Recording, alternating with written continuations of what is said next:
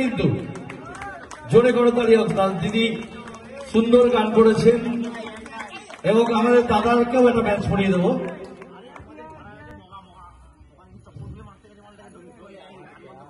তাপস গো দাদা তুমি পড়ে দাও সুস্মিতা দেব তাপস থেকে ম্যাচ পড়ে দিচ্ছে সুস্মিতা দেবনাথ। এবার জোরে করতালি হোক